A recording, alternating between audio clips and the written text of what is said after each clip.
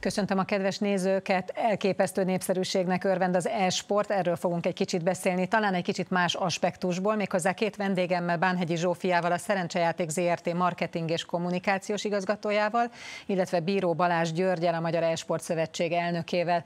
Köszönöm szépen, hogy eljöttetek hozzánk. Két dolog is változott az elmúlt egy évben. Ugye egyrészt a pandémia nagyon sok mindent befolyásolt, gyanítom, hogy az e-sportok, e-sportokat különösképpen, másrészt pedig eh, lehet fogadni már az e-sportokra, ami szintén szintén nagyon megváltoztatta azt a világot, amibe ez beletartozik. Nálatok, Zsófi, mennyire, mennyire változott meg a világ azzal, hogy az e-sport bejött a ti életetekbe? Inkább azt mondanám, hogy a pandémia hatására változott meg radikálisan a sportfogadás világa, hogy az elmúlt évtizedben rendkívül dinamikusan fejlődött a szegmens, globálisan és Magyarországon is. A Nemzeti Lottotársaságnak több mint a felét adja az árbevételnek a sportfogadás, azonban rendkívüli nagy zuhanásnak néztünk elébe, amikor március közepén a pandémia első hullámában közel 90%-kal zuhant be a sportfogadási szegmensünk, hiszen az élő sportfogadási események elmaradtak. És ekkor döntött úgy a szerencsejáték ZRT, hogy erre válaszként augusztusban bevezeti az e-sportfogadást, és mint egy függetlenített részve a fogadási piacait az élő sporttól. Ez viszont egy óriási lehetőség volt az e-sportnak is. Ugye korábban is rengeteg játékosa és nézője, követője volt ennek a sportnak, de a pandémia ebben bizonyára nagyon sokat változtatott. Igen, kettős hatása volt, ha így nézzük a járványnak az elektronikus sportokra.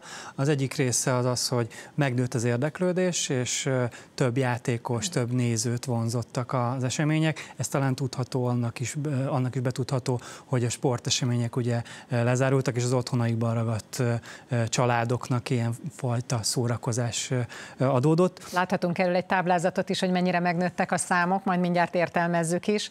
Globálisan 2,8 milliárd fő a videójátékosok száma. Tudunk arról, hogy ez mennyivel több, mint amit korábban lehetett tudni?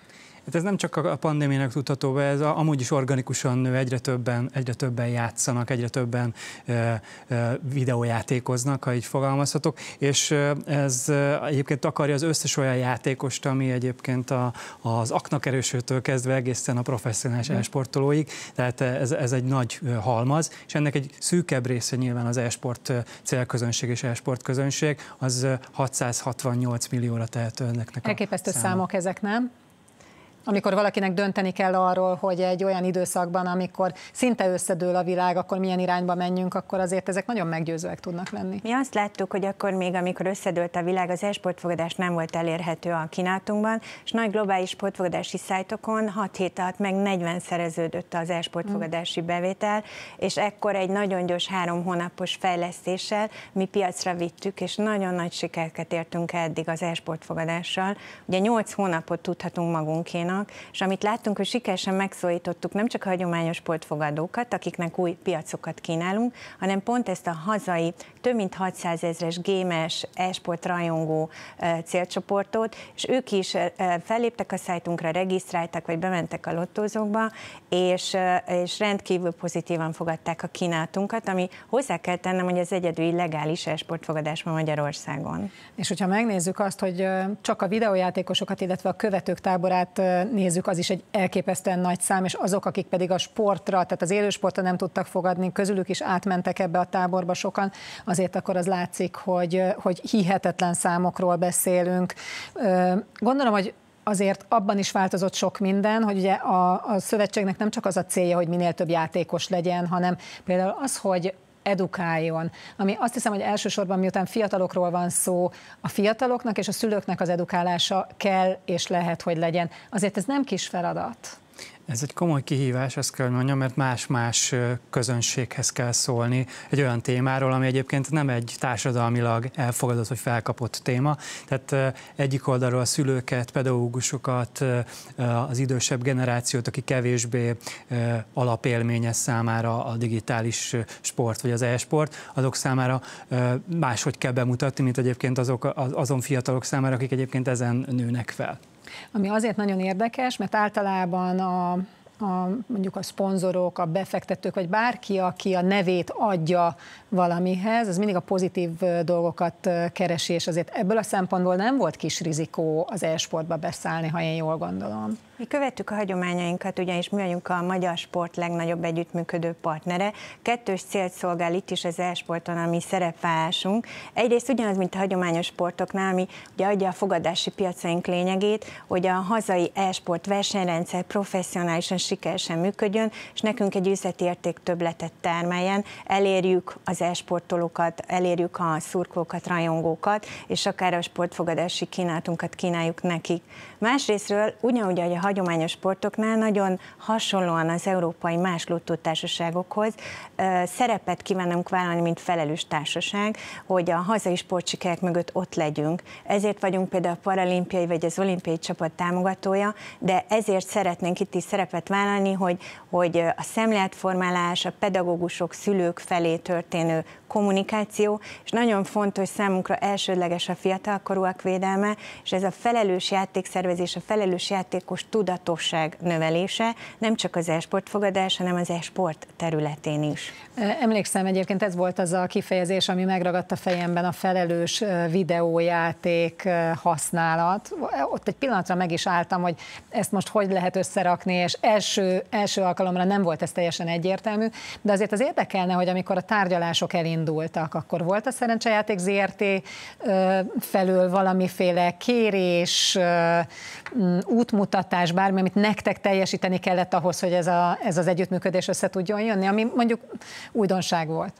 Én azt gondolom, hogy nagyon összecsengettek ilyen szempontból a gondolatok a Szerencsejáték ZRT és a Magyar Esport Szövetség között, mert hogy számunkra is nagyon fontos ez a tudatosság és a felelősség, ez a két kulcs gondolat, ami, egy, ami mentén egyébként magát a, az egész együttműködést jellemezhetjük, és ez mit akar? Egyik oldal ugye a tudatos játékhasználatot, ugye a nagy gamer közösség szűkebb szegmense az e-sportolói közösség, akik tudatosan készülnek, cél, célokat határoznak meg, és nem egy öncélú szórakoztató játéktevékenységről beszélünk csak, hanem a sporthoz közelebb álló, sokkal tudatosabb készülést és a képességeinknek a kihasználását, kiaknázását takarja. És azt gondolom, hogy e, emiatt a tudatosság és a felelősség kéz a kézben jár, ha így nézzük, mert egyfajta tudatos hát szerepvállalás és, és a felelős használata a játékoknak, az feltételezi azt, hogy, hogy ilyen formában az e-sportolók és a tudatos játékosok azok nem egy, egy a gamer sztereotípiák mentén létező közösség. Itt közösség épül, és másik oldalról pedig egy olyan szabályrendszert húzunk fel igazából a, játékozás köré, ami egyfajta ilyen nevelési célzatokat is takar. Zsófi, azért ez mégiscsak új és elképesztően izgalmas terület. Egy kicsit beavatnál minket, ha lehet, az első beszélgetésekbe cégen belül, amikor felmerült ez a kérdés, az érvek, az ellenérvek, hogy hogy, hogy csattogtak? Az e-sportfogadással uh-huh. kapcsolatban? Ugye több éve készülünk a belépésre, csak fel kell gyorsítani az IT fejlesztés, marketing kampány fejlesztés, törvénymódosítást, hogy odaérünk augusztusra a pandémia hatására. Láttuk a játékos trendeket, láttuk az elvárásokat nemzetközi szinten, és fontos megint megint kiemelnem, hogy ez egy nagyon fontos eszköz számunkra, hogy a hazánkban engedéllyel nem rendelkező szerencsejáték szervezőkkel szemben versenyképesebbek legyünk, és a hazai fogadókat visszacsábítsuk. Érdekesség, vannak uh, magyar sajátosságok az esportfogadás területén, tehát te se gondolnád, hogy több mint a fele a forgalomnak a lottózókban érkezik, és nem online. Ez, ez számunkra is meglepő, illetőleg bár 14 játékot kínálunk, a legnépszerűbbeket, ugye stratégiai kártyajátékokat, de ugyanúgy a sportszimulációs játékokat, mégis az NBA és, és a FIFA hozza a 90%-át a bevételeinknek, és olyan rendkívül népszerű játékok, mint a Cségó, vagy Dota 2, vagy League of Legends, csak ezután érkezik.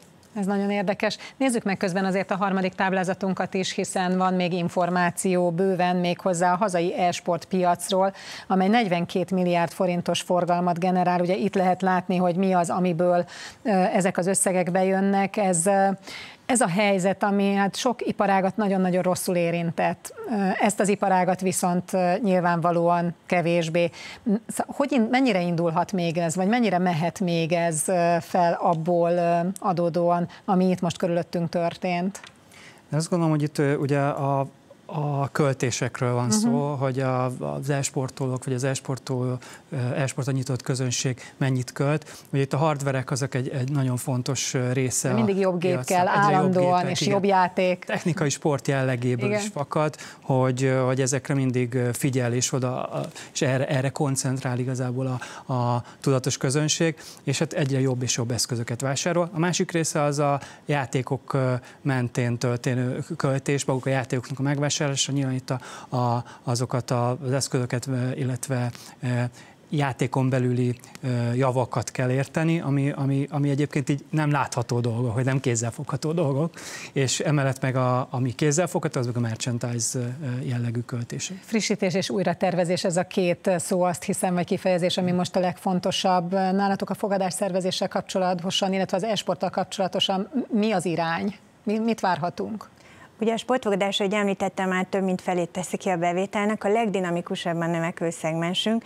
E-sportfogadás területén egy 10%-os részesedést vizionálunk 5 éven belül, ami hatalmas, hogyha azt nézzük, hogy a, csak a futball, a, a 50%-at teszi ki a teljes bevételnek sportfogadásban, tehát, hogy igazából jelenleg a hatodik legnépszerűbb játékunk például az e-sportfogadás, amire fogadnak az 50-ből, sportákból, és, és volt olyan hét, amikor a futball után a második legnépszerűbb volt. Hihetetlen ez az egész, azt hiszem, hogy fogjuk folytatni ezt a beszélgetést, mert nagyon izgalmas lesz, ahogy ez alakul. Köszönöm szépen, hogy elkezdhettük ma. Köszönjük szépen. Köszönjük. A kedves nézőktől pedig búcsúzunk most viszontlátásra.